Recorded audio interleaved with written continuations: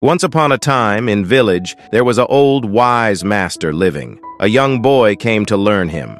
After some years, he finished his studies. When he was about to leave, the old master gave him a special mirror. This was not any ordinary mirror. This was a magical mirror.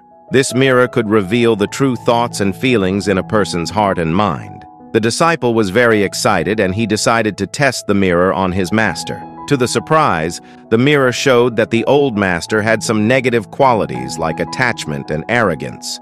This made him sad because he thought his teacher was perfect. Curious, the disciple started using the mirror on everyone he knew. Friends, family, and others all showed some flaws. Disheartened, the disciple thought, why is everyone so bad? They are not who they seem to be. This realization made him very sad. He even checked his own parents, who had good reputations. However, even his parents had flaws. Feeling restless, the disciple went to his old master and confessed what he had discovered. He was upset that everyone seemed to have faults, even the old master and his parents.